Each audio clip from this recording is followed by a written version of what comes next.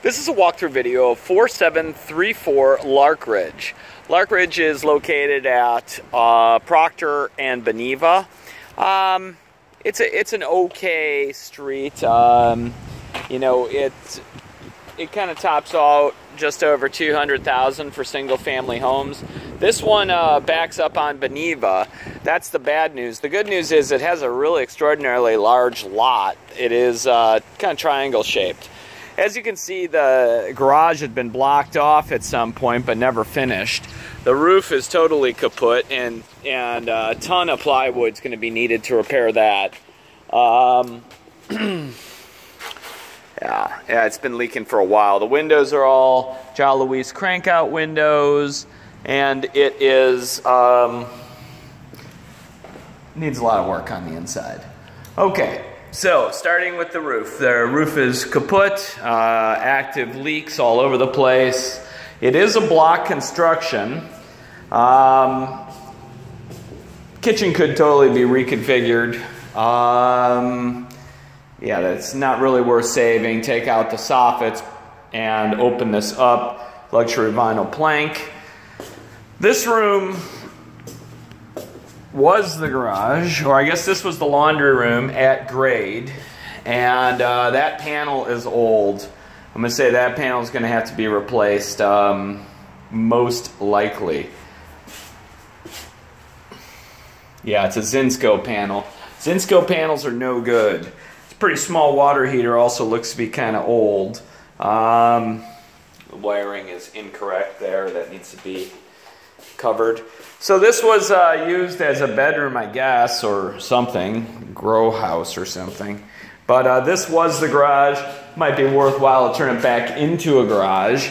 I like this. This is how you handle a roof leak. You just cut a hole and tape a paper cut in there to funnel it all into a bucket or something. But, geez Louise. And uh, this is nicely done um, installation. This is how not to install a uh, window AC.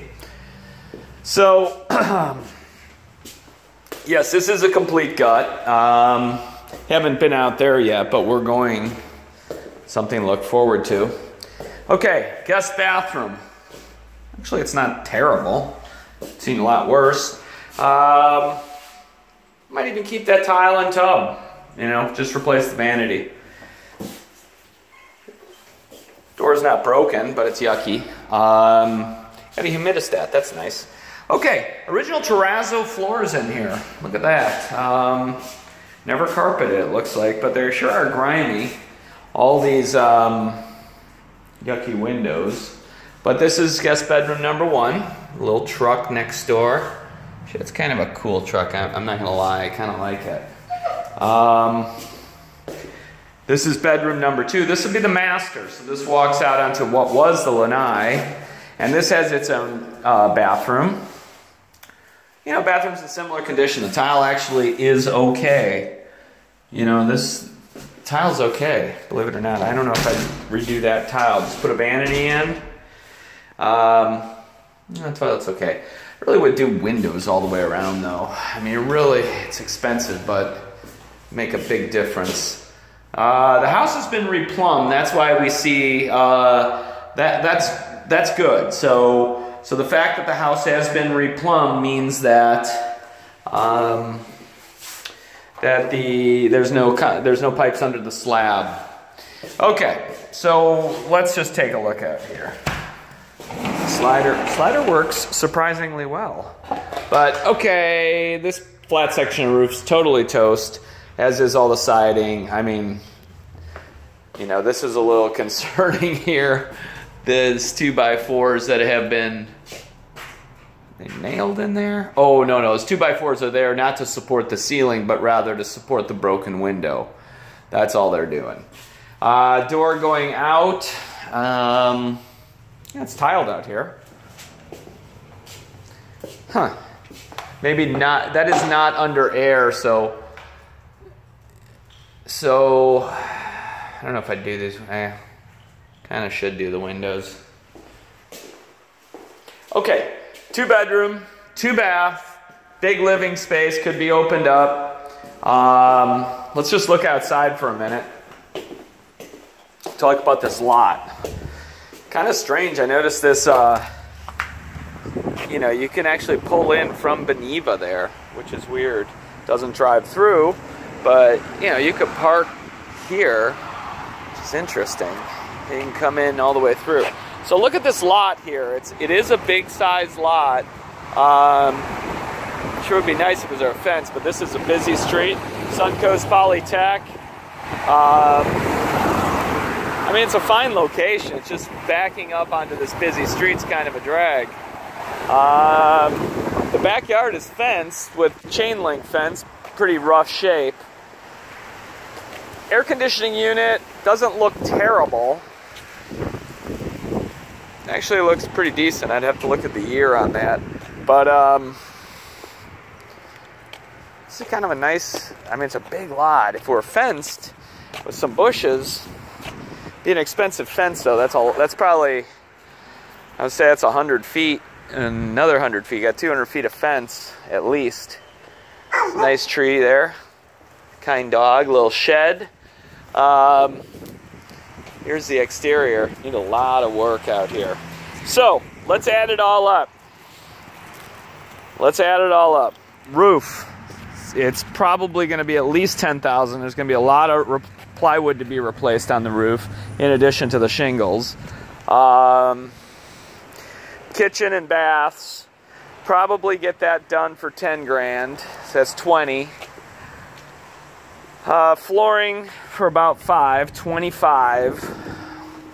Panel, it's going to be uh, 1500 bucks. Six. Fixing that, 27. Um, what to do on this? Converting this back into a garage, putting a garage door opener in there, I think is probably the best bet. I think that probably would be the best bet. 30. You know, then uh, paint, drywall, repairs. I mean, all the ceiling, drywall and paint, replacing some doors where necessary. Hmm. Say another five grand, 32.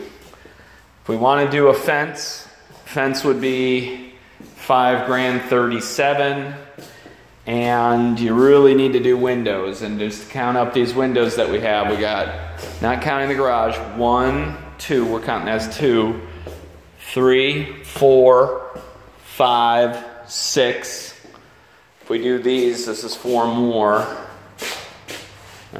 Five more.